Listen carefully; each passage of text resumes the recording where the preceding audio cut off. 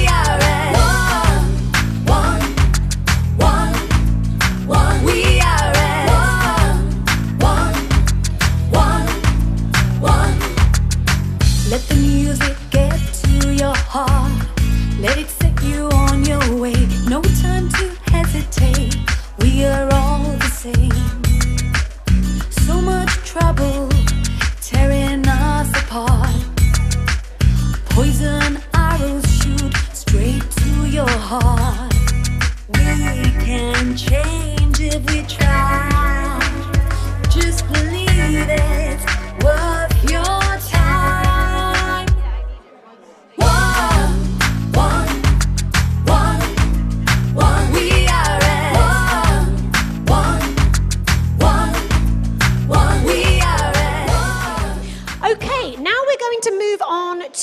section about charities.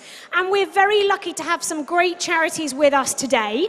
So I'd like to call up, please, all together Paul from Collective Calling, Tom from Age Concern, Lily from AAA, and also Evanina from DEBRA. If you could come up, please. These are our fabulous charity representatives. I wanted you all to see who they were, know what they're doing, so that we can all get involved, because these are the people that are really making the difference. Oh, we have an extra one, do we? Come on, then. We, this has got to be so fast, people. Okay? We've, got, we've, we've gone from five to one minute. okay. All right, start over there. Okay, start with you. One minute. Hello, my name's Jackie. I'm the president of Alzheimer's and Dementia Support International. Um, we are hopefully setting up the first AFA, if anybody knows what AFA is. It's the affiliation of families for Alzheimer's, and it's mainly Spanish. We're setting up the first British one in Sabaners. We already have a charity shop. We're doing loads and loads of events. You will see our campaigns everywhere um, throughout the months. Um, we're here to help the carers of Alzheimer's and dementia. There are over 44 million sufferers of dementia at the moment, and a lot of those, I think there's about 400, eight- no, 800,000 in Spain. So we're here to help the expats, um, the carers for dementia. Thank you very much. Hello, my name is Gemma Carr. This is my husband Paul. We have a charity called Collective Calling. Um, we help locally and internationally, and I'll help my I'll let my husband explain to you. So we help the local homeless community here on the coast at our collective calling base. Uh, they come round to our base, they do art therapy, they receive shower, uh, they receive clothing, they can wash their clothing.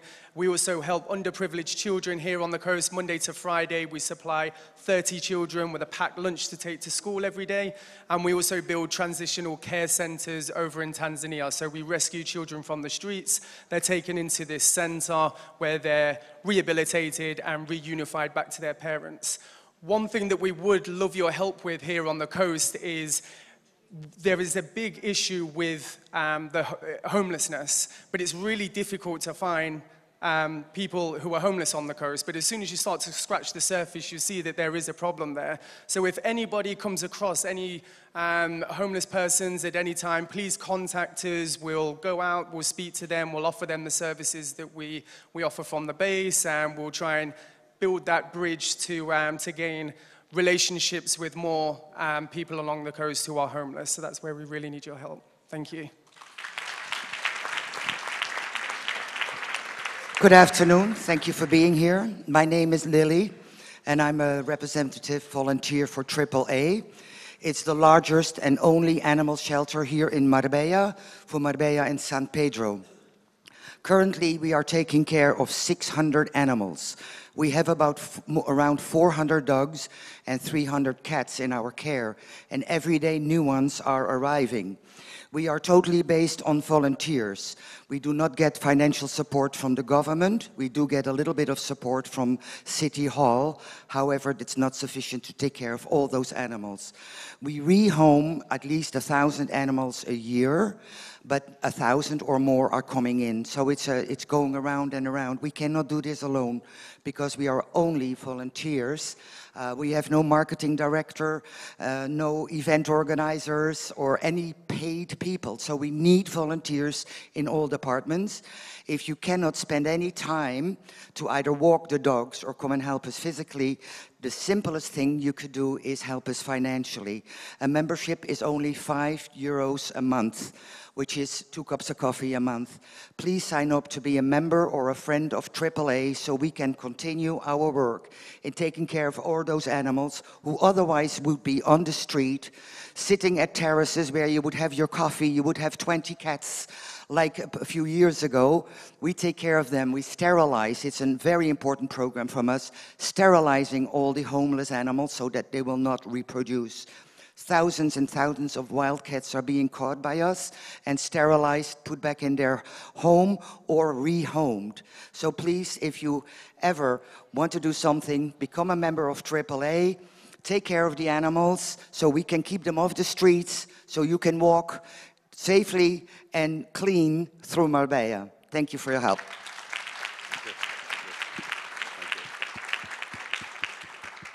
Good morning, everyone. My name is Tom Burns. I'm president of Age Concern Marbella San Pedro. I think most people in the room know what we do, and it seems to me that everybody who's been speaking so far, with the exception of, are involved with age concern. Uh, homelessness, Alzheimer's, all of that. Uh, I'm fascinated this morning by the concept of integration and sharing best practice. I don't think enough of that is happening. And I think the, the, setting up of the WhatsApp group is essential to share best practice and to make sure that we all sing off the sheet. I have one idea about integration in this, and I was fascinated to hear all the young people over here, and thank you very much again. You were fantastic.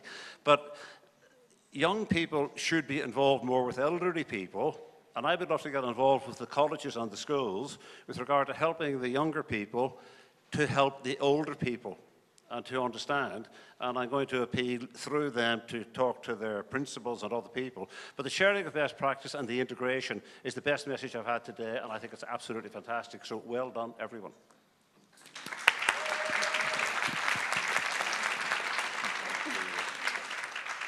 Hi, my name is Evanina, and I work in DEBRA in the Butterfly Children Charity. For those of you who don't know what um, butterfly children, the condition is basically one in every 227 of us are carriers of a condition called butterfly skin, EB, and if both the mother and the father are carriers, they have a 25% chance of having a child with butterfly skin. This means that their skin is sorry, as fragile as a butterfly's wing.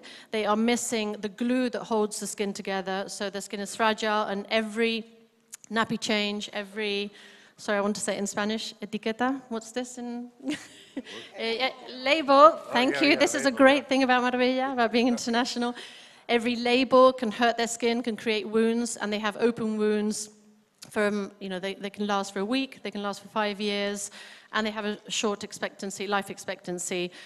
DEBRA was created here in Marbella by a couple of architects who were waiting for their firstborn, Inigo, and he was unfortunately born with EB. He was in hospital for four months, and the parents were desperately looking for help, for information, for guidance, because no one knew about the condition. It's an unknown condition. And they traveled to the UK, met the people in DEBRA in the UK, and they said, This is what we need in Spain. We need a place where families can come to and not walk alone, walk with guidance. So in DEBRA, in here in Marbella, we have nurses, we have social workers, and we have psychologists, all funded by the general public, who travel all over Spain to help families when they have a newborn with a condition. So we would travel to the hospital within 24 hours of hearing of the newborn, and we give obviously psychological support and instrumental support to the family so they can learn how to embrace their child, how to change a nappy without hurting their baby. And most importantly, we're training the health professionals from the hospitals so that they will know how to treat um, the babies that will also, you know, become, become adults and also will need a lot of support. I'm absolutely loving, I can't find Nicole. Where is Nicole? Nicole's just gone or leaving, but I really want to say massive thank you, Nicole, on your way to the toilet. on your way for a, you know, pamper. You're looking beautiful. You're looking beautiful, and this is just incredible. This is the Marbella. I'm, as you know, a bit Spanish, a bit French, a bit Polish. This is just incredible. I went to an English school, bringing together all these people that are looking into how to becoming, you know, changing the community, making a community more embracing, embracing disability, embracing homelessness, embracing animals is just absolutely blissful. And thank you so much for doing this for all of us. Thank you. and then I need to say, sorry, if not, my fundraising colleagues will kill me, that if you are interested in any way in helping, and I'm really excited about seeing how we can all help each other because I think you know that AAA gets the, blankets that we get in our charity shops. We have a lot of people volunteering in the charity shops, and there's a beautiful intergenerational generational um, thing going on there with young people volunteering from schools, from EIC, from Maloa, from the Spanish schools. They come in, they learn about customer care, which is invaluable experience. They meet, you know, older people. So I'm not sure if you say older people. Sorry. yeah, sorry. I'm no, I never know. Being Spanish, you never know what the politically correct thing is to say. But thank you anyway. Thank you so much. And if you want to get involved, charity shops, you can volunteer. Charity shops, you can bring all the things that you have that you no longer need so they have a second life. And you can come and meet us in the office in Marbella to meet our team who are traveling throughout Spain. And they will love to meet you. Thank you so much. Very good. Hello, good morning. I am Victoria Herrero from CK La Quinta, a residential care home which we are going to open in about two weeks. I think to have a better together, we have to take care of our elderly as well. And I agree with Tom of Age Concern to have a good interaction and to have, find a good event. The social interaction between the elderly and the young people is a great project. So you young people, welcome to see us in CK La Quinta. And thank you so much, Nicole King, to let CK La Quinta to be part of this project. Thank you.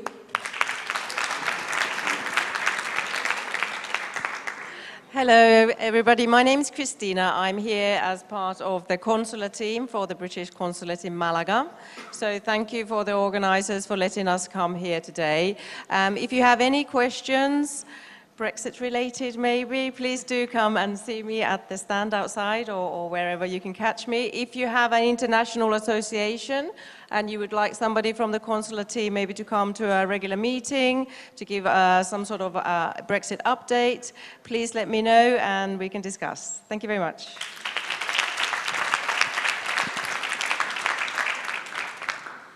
Hello, I'm Joanna Shanowska, and I'm from the Marbella Guadalmina Rotary Club. And we're very proud to be one of the sponsors of the event today. And very much the kind of things that are being talked about here are the values that we espouse in Rotary. Rotary is not a charity but it is about fellowship, it's about friendship, having fun, and also supporting other charities, including environmental ones. So we are having our own Plastic Awareness Day on the 1st of June as well. So do please come and talk to us, connect up with us, because we do a lot of ongoing work and we want to do it within this community. Thank you.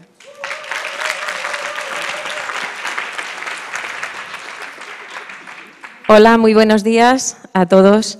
Mi nombre es Pilar Valladolid y soy la fundadora del Proyecto Social Desarrollo Humano, desde donde hacemos diferentes actividades de tipo, mm, o mejor dicho, que promueven el desarrollo personal y son de interés eh, mm, social, de interés cultural y de interés personal.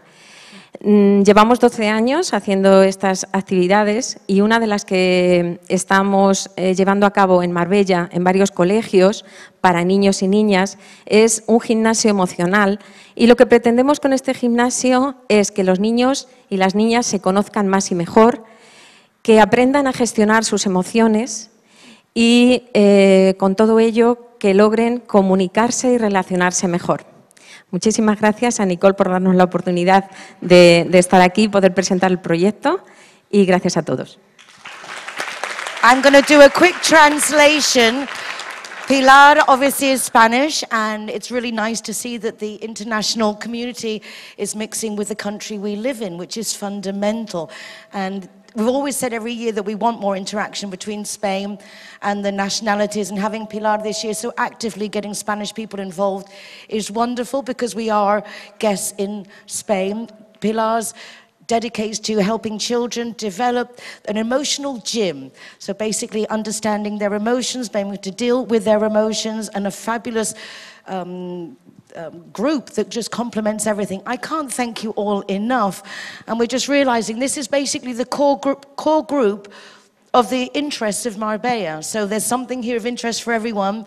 And then when we take the break now for coffee, you know who you're making a beeline for to be able to network and get to know each other that little bit better because through friendship, it will work. And I just want to say one more thing. We talked about plastics and everything. There are some wonderful places that have started, like the Kempinski Hotel not doing plastic straws. You've got Los Naranjos Golf Club that don't have plastic bottles in the restaurant. I don't believe in naming and shaming, but I do believe that we can promote the people who do it right. And if we join forces to promote the people who do it right, everything will just fall into place. I think now we're going to breakfast. I'm going to pass you to Georgina and get out the way. Don't, don't try and go with the agenda, Nicole. That's my department. Thank you so much to all the charities. Let's give them a really big round of applause for all the work that they do. Please go sit down. Muchas gracias.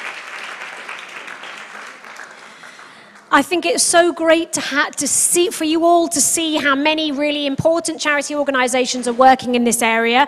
I would I would encourage you to all think, what can you do? And that's what this is our last little session where we're going to feed back about what can we do for our charities? How can we integrate with our charities? What, as a business, would you be happy to do? Is there anyone that you just heard speaking now that you'd like to fundraise for? Is there something that you would like to do? Would you like to go and volunteer in a charity shop? If you can write down on your post it notes really practical things that you can do for these charities, because especially as a business community, these charity partnerships offer us amazing marketing opportunities. So if you can think of that as a really good marketing idea, as well as CSR, as well as community involvement, then let's help our local charities. So I'm going to give you five minutes before we break to just write down those ideas. Thank you very much, everyone.